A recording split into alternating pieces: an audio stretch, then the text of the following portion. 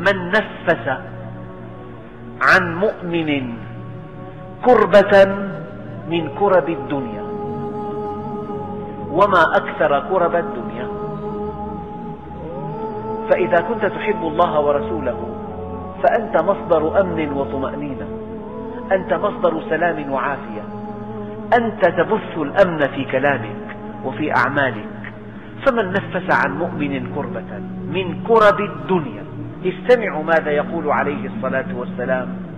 نفس الله عنه كربة من كرب يوم القيامة. وما أشد كرب يوم القيامة. كل إنسان أحيانا بحكم إمكانياته بحكم آه، مكانته الاجتماعية بحكم شأنه بحكم آه، حجمه المالي يستطيع يخفف عن الناس آلامهم يستطيع يكون مصدر خير مصدر سلام. مصدر طمأنينة. فأنت إما أن تكون مصدر شر لا سمح الله وإما أن تكون مصدر خير. فالله سبحانه وتعالى يقول الخير بيدي والشر بيدي. فطوبى لمن قدرت على يده الخير والويل لمن قدرت على يده الشر. وإذا أردت أن تعرف مقامك فانظر فيما استعملك. لذلك يا أخي الكريم سؤال دقيق. اسأل نفسك كل يوم أنا ماذا فعل هذا اليوم؟ كل يوم ينشق فجره يخاطب ابن آدم. يقول يا ابن آدم أنا خلق جديد وعلى عملك شهيد فتزود مني فإني لا أعود إلى يوم القيامة. هذا اليوم كيف, كيف مضى؟ هل دعوت فيه إلى الله؟ هل أمرت بالمعروف؟ هل نهيت عن المنكر؟ هل بثثت الطمأنينة في نفس إنسان. هل نفست عن مؤمن كربة؟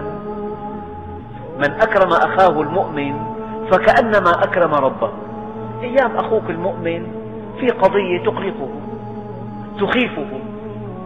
جئت أنت واستخدمت نفوذك ووجاهتك في بث الطمأنينة له أو في إزالة هذه الكربة. لذلك اجعل شعارك كل يوم إذا أردت أن تعرف مقامك فانظر فيما استعملك. بماذا استعملك الله عز وجل؟ وما أكثر الأبواب المفتحة للعمل الصالح.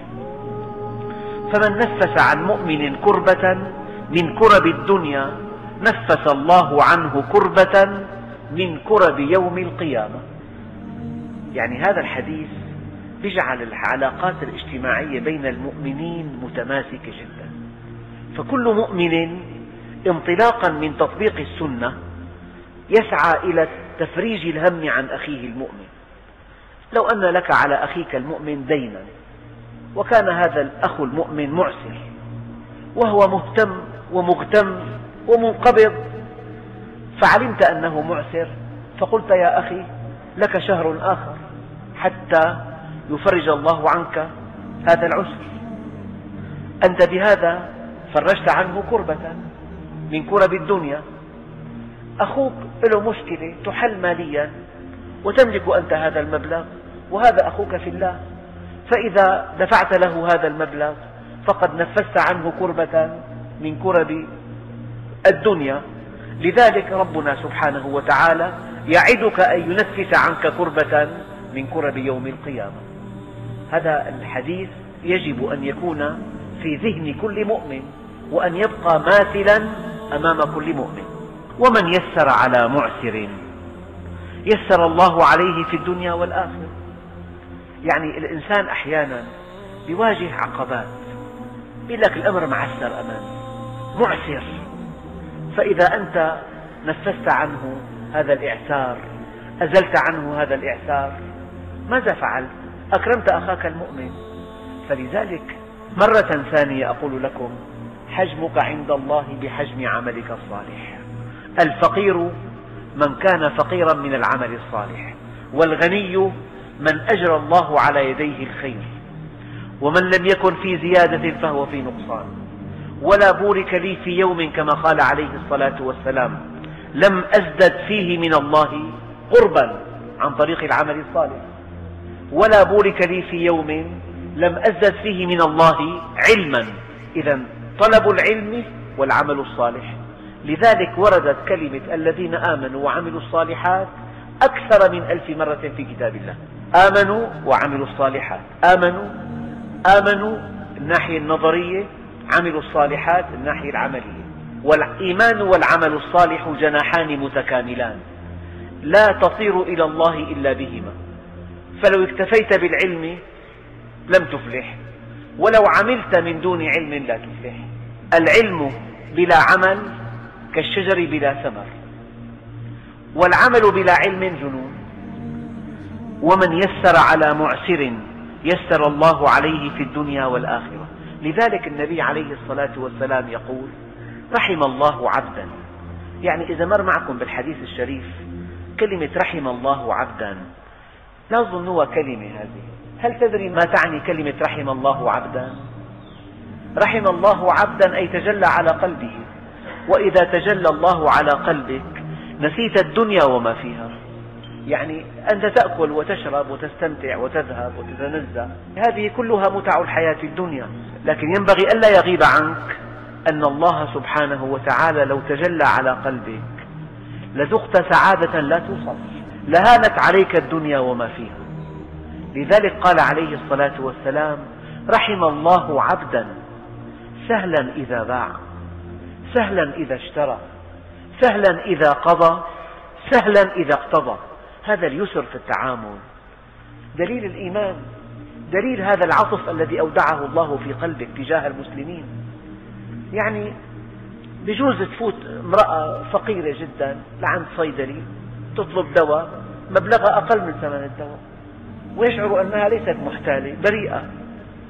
إيه، هناك من يطردها.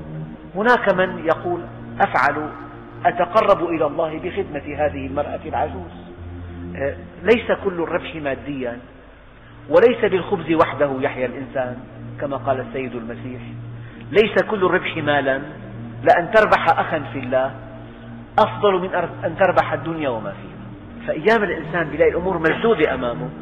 هل تحبون أن تكتشفوا الحل العجيب لتعسير الأمور؟ حل التعسير العمل الصالح. العمل الصالح. العمل الصالح. إذا ضاقت عليك مذاهب الحياة إذا ضاقت عليك السبل إذا ظننت أن الله لن ينصرك في الدنيا ولا في الآخرة من كان يظن أن لن ينصره الله في الدنيا والآخرة فليمدد بسبب إلى السماء. يعني ليعمل عملا صالحا. كما قال بعضهم. هذا العمل الصالح هو الذي يجعل العسر يسرا والضيق فرجا والانقباض انشراحا والتلكؤ انطلاقا. فمن ضاقت عليه السبل من شعر أن أمره معسر من شعر أن الدنيا كلها ضده فعليه بالعمل الصالح. والعمل الصالح يرفعه ولكل درجات مما عملوا. ومن يسر على معسر يسر الله عليه في الدنيا والآخرة. وربما كان التيسير في الدنيا قبل الآخرة. يعني الله عز وجل يقدر لسبب تافه تافه أن يجعل حياة الإنسان جحيما. لسبب تافه تافه يذهب المال كله. لسبب تافه تافه يفقد حريته على مدى عشرين عاما. عشرين سنة. حكم.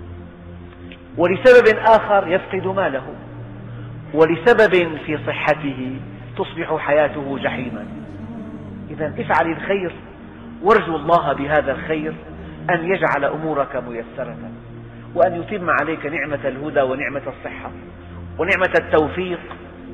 يعني أنا الذي أعرفه أن المؤمن يندفع إلى العمل الصالح اندفاعا لا حدود له. يعني تنتهي حريتك في أن تفعل هذا العمل الصالح أو لا تفعله حينما تعرف الله عز وجل.